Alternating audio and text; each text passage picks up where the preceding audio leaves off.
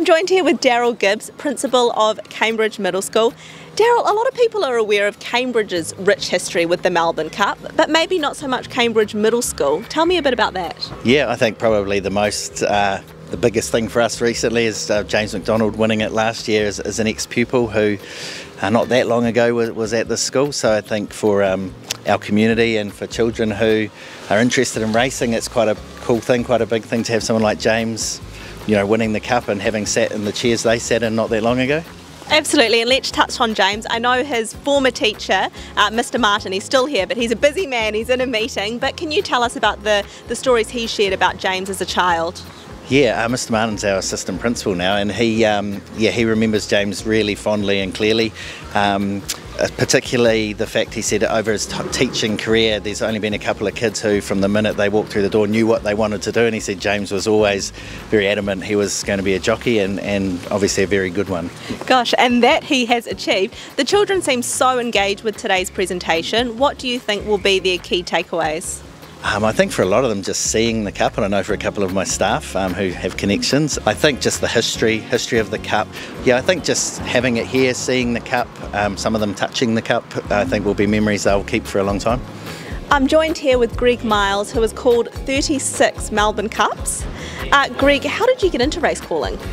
Well, you have to be a racing tragic first, and I achieved that at a very young age. I fell in love with horse racing uh, when I was still in primary school, and I loved radio, so I thought, wouldn't it be pretty cool if I could marry the two together? So I ended up going out to the racetrack, took my little tape recorder and a pair of binoculars, stood up in the back of the grandstand amongst all the people, and started calling into the tape recorder and then started to send out the tapes to some broadcasting stations. And you know what life's like. If, if you're there when the door opens, you can barge through. So a couple of doors opened and I barged right in and somehow it ended up with 36 Melbourne Cups. Gosh, what an incredible story. You've called some very famous races uh, in your time. Makybe Divas, third Melbourne Cup has to be one of my personal favourites. Do you have a favourite? Uh, maybe my last, I think, because uh, it's a pressure job and Almandin in 2016. Um, there were a lot of very, very similar colours in the race. That's a, a, personal one, but there are so many others that were uh, resonate more clearly with the with the public. And you know, my first was Just a Dash in '81, and uh, the year after Gurner's Lane, who was bred here in this local area uh, by Sir Patrick Hogan, uh, beat Kingston Town in an epic um, uh, Melbourne Cup. And then there was Kiwi, of course, in, in 1983, last with a furlong to go and gets up to win. They were my first three Melbourne Cups, so, you know, they were amazing. And then, of course, a lot of Bart Cummings. Uh, he, he'd already won seven when I came to the microphone, and I was able to call, you know, another handful of, of, of Bart Cummings winners, including Viewed, who was his last one in 2008, who won by the smallest, I think the second smallest margin ever in history. Damien Oliver with Media Puzzle. Uh, lots of very fond memories. Oh, absolutely, and you touched earlier on pressure, and you you shared with the students earlier, you know, how you study for these races. Like you say, there can be similar colours, and you told them the four Ps. Can you share those with us? Yes, I was told by an old race caller from uh, Atherton in northern Queensland, who used to call the races in that district. He said, "You got to remember the four Ps: preparation." prevents poor performance and that's what it's all about in any walk of life, really, I suppose, but particularly when you're broadcasting live sport, you've got to be prepared. Mm. And I would spend all day, the day before a race meeting, getting ready to go to the races. So you're prepared for whatever might unfold, and so many different scenarios can play out on a, on a race day. You can't cover all of the bases, but if you're prepared for most of them, then you've got a much better chance of producing a, a, a more a better race call. Mm, it was a wonderful tip that you shared with the students. Thank you for chatting with us and being here today. It was much appreciated. Uh, absolutely my pleasure. Thank you. I am joined with Joe McGrath, keeper of the Melbourne Cup. Joe, what does that job entail?